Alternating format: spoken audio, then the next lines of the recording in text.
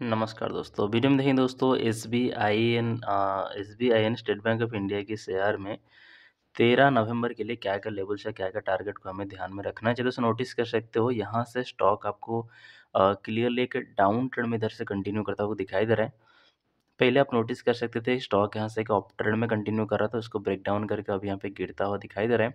तो अभी कंडीशन तो यही रहेगा कि स्टॉक यहाँ पे रेजिस्टेंस बनाएगा, आपको नीचे आने का संभावना नज़र आएगा तो सपोर्ट लेने की दिखाई दे रहा है, यहाँ पे रहेगा five, four, three point seven five में।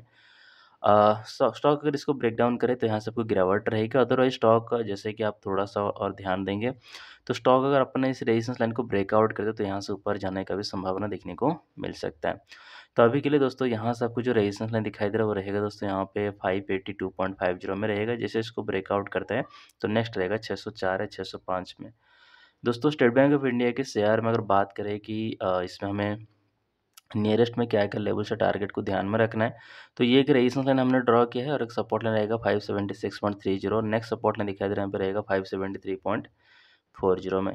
तो वीडियो को लाइक ज़रूर करें दोस्तों चैनल को सब्सक्राइब करके बेल आइकन दबा लीजिए। वीडियो सिर्फ़ एक एजुकेशन पर्पज बनाए गए स्टॉक में बाय सेल या होल्ड करने की कोई भी सलाह या सुझाव नहीं। धन्यवाद दोस्तों।